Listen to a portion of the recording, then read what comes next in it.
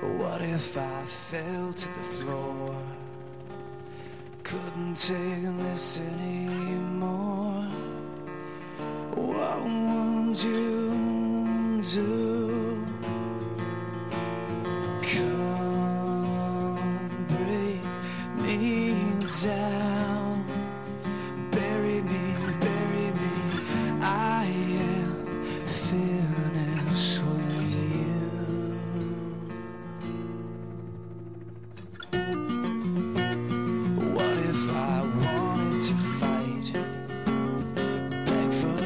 last tonight.